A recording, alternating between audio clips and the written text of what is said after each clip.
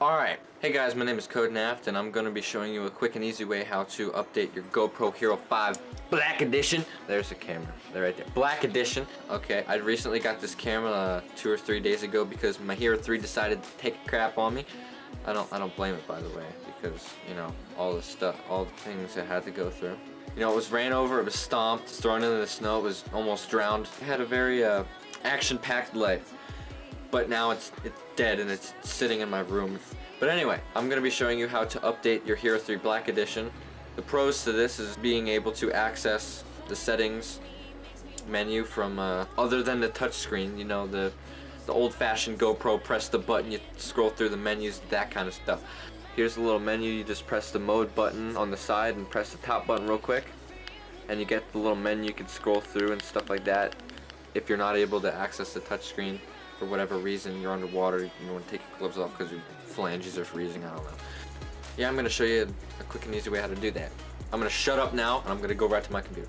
I'm going to provide a link down in the description of this video and it'll take you to this page right here. It's the GoPro page. Um, this is to download the Quick app. This is how you will be able to update your camera you know, the app, the smartphone app is probably way easier than the desktop app. It's probably quicker and everything, but I, I chose a challenging way, I guess. I don't know. So you just scroll down a little bit, you press download now, this is for desktop. Once you download and install that sucker, that's not that hard. You open it up and then you get you get this this nice close-up of this woman's feet right here. But now you take your, uh, your GoPro cable, and you stuff that sucker in the GoPro and then slap that in the computer. Just like that. And it'll take a second. Your files will pop up. Just get rid of that crap. And a little menu should pop up here in about a second. There we go. There you go baby. That's how you work it here.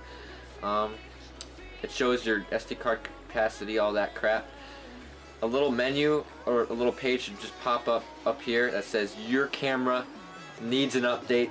You need to update it now. You press update and you update it. Don't unplug the camera. Common sense. And it should be updated.